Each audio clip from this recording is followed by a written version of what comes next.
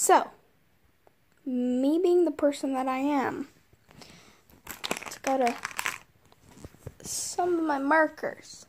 I was like, I wonder if I can use these on my skin. Yes. Yes, I can. So I, I made this eye. Decided to go a bit further. I don't believe in ghosts. I'm actually pretty proud of this.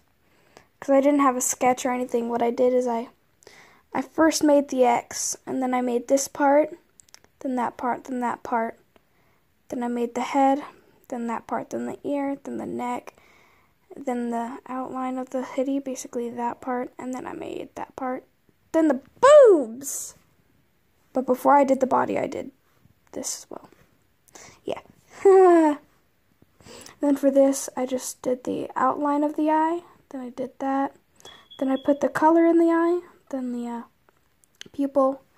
And then I did the little blood. Then I grabbed my 10 out of 10 white pen. Open, damn it. Hold on.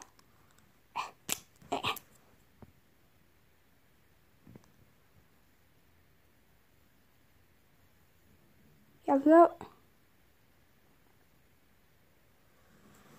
Behold, true beauty.